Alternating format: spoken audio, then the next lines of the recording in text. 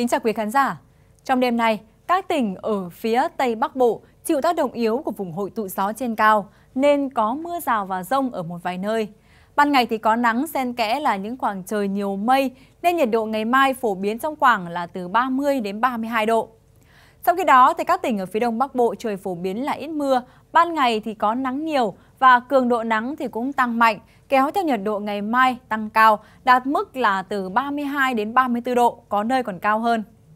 Dịch xuống các tỉnh Trung Bộ từ Thanh Hóa đến Thừa Thiên Huế, đêm nay có mưa rào và rông vài nơi.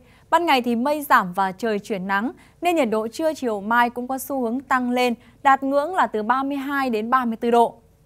Vượt qua đèo Hải Vân, trời có nắng nhiều hơn thì với cường độ nắng gia tăng, nên nhiệt độ cao nhất ngày mai tại đây đạt mức là từ 33 đến 35 độ.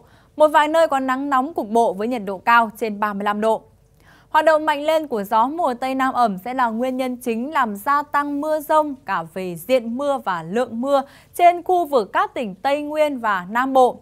Từ chiều mai một số nơi có mưa vừa, mưa to, kèm theo đó là lốc xét và gió giật mạnh. Chuyển sang những thông tin thời tiết biển, tại quần đảo Hoàng Sa có mưa rào và rông vài nơi, còn quần đảo Trường Sa thì không mưa, gió trên cả hai vùng biển cường độ yếu cấp 3, cấp 4 bình bình thường. Và phần cuối sẽ là những thông tin dự báo chi tiết cho các tỉnh và thành phố trên cả nước trong đêm nay và ngày mai.